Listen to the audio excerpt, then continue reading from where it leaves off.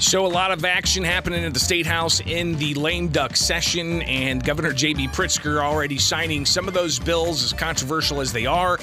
And then he decided to jet set over to Switzerland, where he's meeting with a bunch of globalists in a public forum where, in the past, at least I've talked about on these airwaves, all kinds of private forums like Bilderberg Group. But uh, you've got the World Economic Forum underway, and uh, Governor J.B. Pritzker actually taking part in one of those uh, forum conversations today. We'll talk about that a lot more later on. But to talk about that and uh, the gun ban that's now in place where you're going to have to register your firearms with Illinois State Police starting January 1st or face Class 2 felonies. Uh, State Representative Adam Niemerg with us now uh, to talk about this and more. Good morning, Representative. Uh, let's go ahead and just jump right into it with the gun ban and Governor Pritzker and Attorney General Kwame Raoul saying that if sheriffs don't enforce this, somebody will. Uh, what do you think about all of this, and uh, how are you going to act? Well, Greg, thanks for having me on this morning. And uh, folks, thanks for tuning in on an early Tuesday morning. Uh, last week, we saw the governor, um, you know, with his political narrative of uh, so-called, uh, you know, stopping or trying to stop curb gun violence, which this particular bill will not do that. Gun violence will still occur. They're still not uh, looking at the root cause of it. But uh, yes, the governor signed an unconstitutional gun grab. this has a very long list of commonly used sporting rifles that will now be banned in the state of Illinois with magazine uh, limit sizes to 12. And yes, just as you said, if you do not register uh, your your commonly used sporting rifle uh, with the Illinois State Police through an affidavit process to where they put that serial number on your FOID card, you are guilty, and you are you are now a felon. A law-abiding citizen is now a felon in the state of Illinois. Um, I think that this law will be uh, challenged fairly quickly. I think that there's a there, there's a lot to it that is unconstitutional. You look at what uh, Alito and Thomas said just uh, just the other day about New York's uh, uh, overstretch on uh, on on violating the Second Amendment, how they're deeply concerned, how it raises serious Second Amendment questions. So I think in the coming days and weeks, you're going to see several court court challenges to this unconstitutional bill. And like I said previously, this this does nothing uh, to to to solve gun violence. This just uh, it's a political narrative by the by the Democrats and by the governor.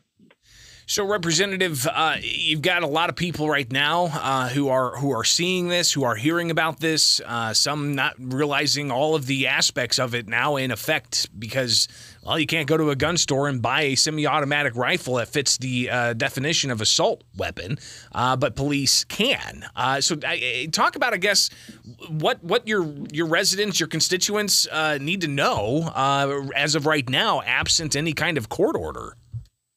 Well, first of all, you know, I, I we have a lot of sheriffs uh, throughout the entire state, uh, a, a, vast majority of sheriffs and counties, uh, and then we also have local uh, local counties passing resolutions saying that they're not going to violate folks' Second Amendment rights. They're not going to enforce this. They're not going um, to to be a part of this uh, this unconstitutional uh, gun grab. So that I, I would say, you know, that that's a very very very good thing. Um, you know, what the governor will do, I don't know what he will do. Uh, but I can tell you this: if he tries to use the Illinois State Police to come to my home to take my guns, you know, there's uh, I'm going to have some very serious issues with that. Um, so I would tell folks just to just honestly to sit tight. We're going to have some court decisions on this that, that will be issued uh, fairly quickly after the lawsuits are filed. So um, what may happen is the lawsuits are filed. They're going to file them in federal court, from what I understand. Uh, and then there'll be a temporary restraining order and an injunction uh, issued uh, that will that will essentially give it a stay on on these laws being implemented. Um, it looks to me like this will reflect a lot of what happened with the Safety Act. So when the Democrats start to see the the courts rule on this, I would not be surprised if we see a trailer bill or two. So we're we're in it for the long haul. We're in, in it to protect your Second Amendment rights. State Representative Adam Niemerg with us on WMAY to talk about that gun ban and registry. And I've got an email here from a listener representative that says, Greg, what's the big deal about registering a gun in the times we live in with all the crime and shootings, killings, etc.? Is having to hit a few keystrokes on a computer that big of a deal? Question mark. What's your response to somebody who says, hey, it's not a big deal to register guns? It's a very, very big deal for the government to uh, to to essentially come after your Second Amendment rights. You know, it's it's uh, could be a, a death by a thousand cuts whenever our, our rights are violated by a tyrannical government. We saw over the last two years things that we never would have thought would have happened. A, a government that was that was out of control during COVID. Uh, so I do not trust the government. I do not expect your listeners to, to trust the government. And furthermore, I'd ask, how does violating my Second Amendment, your Second Amendment rights um, in this particular way, stop gun violence. Because you know, in Cook County, those uh, those criminals, they're not going to register. Uh, they're not going to turn in their magazines. They're not going to register any firearm that, that's on this list. They're going to still, uh, you know, be able to go out and illegally purchase these uh, these these, these so-called assault rifles. And furthermore, this bill does not just stop at that. This, under the definitions, under the way that it's drafted, and the way it was it was passed, we're talking about semi-automatic um, shotguns that you sit in a duck blind with. We're talking about Remington 1100s uh, that you just the normal hunting guns that under the definitions of this bill, if you do not register those firearms, and uh, then you're you're going to be a felon. So those are the, those are the two the two answers I'd give to that question. State Representative Adam Niemerg, uh, let's uh, train our focus away from the guns issue uh, because after the governor signed that last week, and after he expanded abortion uh, with a uh, bill that protects abortion providers in the state of Illinois and even expands who can provide those services of terminating a pregnancy, he then got on a plane and flew over to Davos, Switzerland, where he's taking part in the World Economic Forum and and he's set to, to um, uh, speak about uh, this this issue. And I've got it pulled up here from the uh, World Economic Forum's annual meeting website. America Unbound. What can we expect from a reshaped legislative landscape in the United States that relates to domestic and foreign policy? He's on stage with uh, not just uh, a, a, former, um, uh, you know, uh, governor Brian Kemp, uh, state of Georgia. Rather, he's not a former, but he is the governor of the state of Georgia. You've got Joe Manchin, who's part of this. Kyrsten Sinema, who's part of this conversation.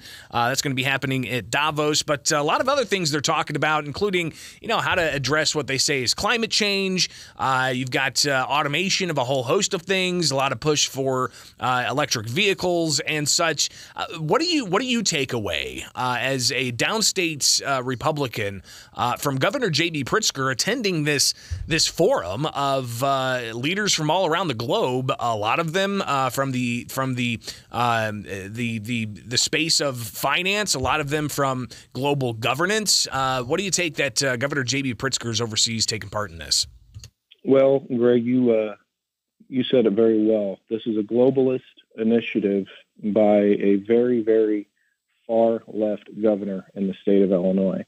Uh, folks, this this governor has uh, has presidential aspirations, and he'll drive the car off the leftist cliff any day of the week at the detriment of you, the people the state of Illinois. This is a billionaire governor who who I'll never be able to relate to. You know, as uh, as I give this interview, uh, I'm in my home. My wife is upstairs trying to get ready for work. She has to get out the door a little bit early, and my kids, I'm they're trying to get dressed upstairs. I have to get them get them off to school and head to town and start work myself. Uh, so you know, we pay we pay our property taxes. We try to save money. We're trying to figure out how to save for our kids' education. Um, and then you you throw in the Ameren bills that have have gone. I, I get folks telling me you know, it was 200, now it's a 1,000.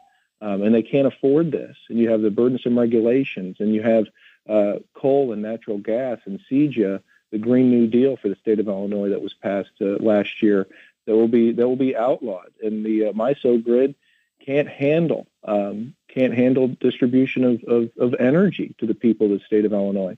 So I would say you have a so many, so many, and, and folks, Democrat, Republican, I'm upset with globalists on both sides of the aisle. This is about the working class people of the state of Illinois. This is about you and me uh, and this this this woke wish list uh, that the governor keeps putting out there, whether it's on guns, whether it's on abortion, whether it's on energy, it's hurting the working class of the state of Illinois. So for him to fly his private jet, go over there, sit there with all the, the elite globalists of the world, and and tell us how we should live our lives is is completely hypocritical. State Representative Adam Niemerg, it's all the time we've got. Greatly appreciate you taking it with us, and we'll definitely talk again soon. And I'll see you back down here in Springfield later on this month.